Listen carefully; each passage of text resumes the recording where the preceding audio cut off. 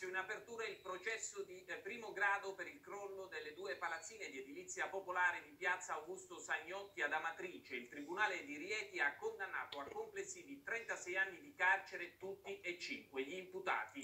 Per tutti l'accusa era di omicidio colposo plurimo, crollo colposo, disastro e lesioni. Il crollo delle palazzine il 24 agosto del 2016 causò la morte di 18 persone e il ferimento di altre tre. L'inviata è Gemma Giovannelli. Me mia mamma non me la ridà nessuno.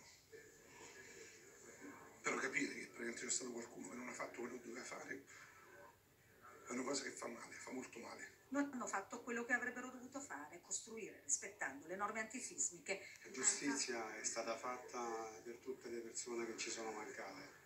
Con pene che vanno dai 5 ai 9 anni di reclusione per taluni superiori di un anno rispetto alle richieste formulate dal pubblico ministero Rocco Gustavo Maruotti, oltre all'obbligo del risarcimento danni e al pagamento delle provvisionali nei confronti delle vittime, sono stati tutti condannati in primo grado dal giudice Carlo Sabatini i cinque imputati ritenuti responsabili del crollo delle due palazzine popolari gemelle ex Ater di Amatrice, dove la notte del 24 agosto trovarono la morte 18 persone.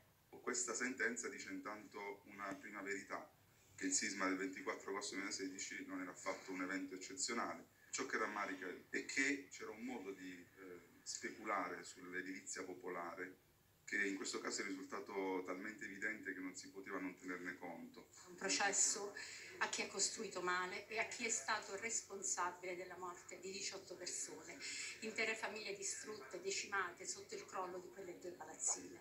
E oggi il giudice ha dato una verità.